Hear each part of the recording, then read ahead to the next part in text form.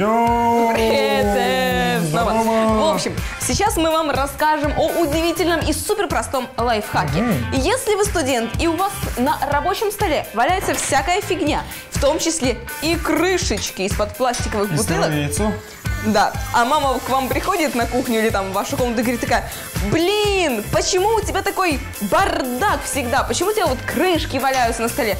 А вы такой, мама или папа, или бабушка, или дедушка, это не просто крышка, это подставка для сырого или вареного куриного яйца. И не важно, что вы ранее употребляли, вам поверят.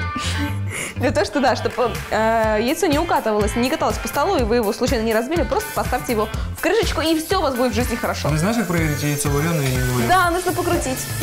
Не вареное. Дорогие друзья, а именно школьники, ну или студенты, вы сидите на парах или на уроке э, на черчении, чертите, чертите, ну или рисуете Не свою тому. любовь, пишите записочки, и бац, у вас поломался карандаш. Если вы не умеете точить карандаши, вы неудачник. Я хотел то бы- хватит быть аутсайдером. Сейчас смотрите нашу программу, наш выпуск Hack Life, и мы научим вас, как круто и по-мужски точить карандаши. Даже Стэтхэм так точит. И я уверен, что абсолютно у каждого школьника или студента в портфеле как бы завалялся самый обычный и небольшой шуруповерт. Значит, что мы делаем? Мы просто засовываем карандаш, шуруповерт, закручиваем. Аккуратно. Закручивайте. Вот, прификсировали. Берем точилку. У нас их в данном Прификсировали, зафиксировали. Зафиксировали это намертво, а мы просто легонечко при. Хорошо, при, при, при. Ну хорошо, зафиксировали, как хочешь.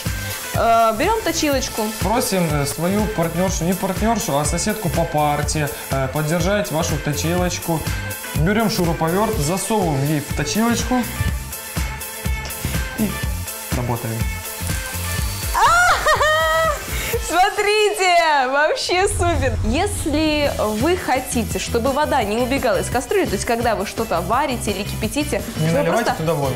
вода не выплескивалась через бортики и не сбегала там вместе с кашей или супом, положите наверх кастрюли поверх деревянную ложку. Смысле, деревянную ложку? Ну, просто- Коромысле, да, вот у тебя кастрюля.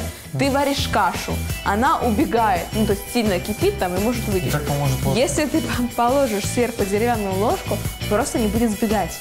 Интересно, надо обязательно попробовать. Вот такая. Смотрите программу «Планшет». А,